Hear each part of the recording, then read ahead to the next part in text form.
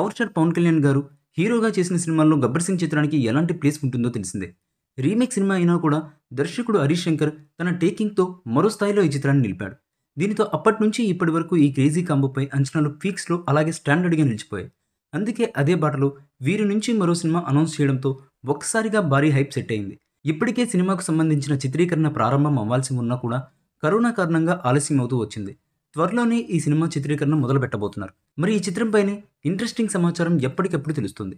కొన్నాళ్ళ క్రితమే power star makeover కోసం టాక్ రాగా ఇప్పుడు ఊహించిన టాక్ వినిపిస్తుంది. ఈ చిత్రానికి గాను కథలు హరీష్తో పాటు పవర్ స్టార్ పవన్ కళ్యాణ్ గారు కూడా పాలు పంచుకోబోతున్నారట. అంటే ఇద్దరి నుంచి ఈ సినిమా కథ సిద్ధమవుతుందని తెలుస్తుంది. కథలో కీలక పాయింట్స్ను పవర్ స్టార్ పవన్ కళ్యాణ్ గారు ఇచ్చారని పవర్ స్టార్ ఇచ్చిన ఇన్పుట్స్ మరియు సలహాల సూచనల మేరకు దర్శకుడు మరియు ఇతర రచయితలు కథను సిద్ధం చేశారంటూ మీడియా సర్కిల్లో గుసగుసలు వినిపిస్తున్నాయి. దీనిపై అధికారిక క్లారిటీ రావాల్సి ఉంది. ప్రస్తుతం పవన్ కళ్యాణ్ గారు మలయాళం మూవీ అయ్యప్పనం కుషం రీమేక్ చేస్తున్నారు. అలాగే క్రిష్ దర్శకత్వంలో తెరకెక్కిస్తున్న ప్రతిష్టాత్మక చిత్రం హరిహర వీరమన్లో నటిస్తున్న సంగతి తెలిసిందే.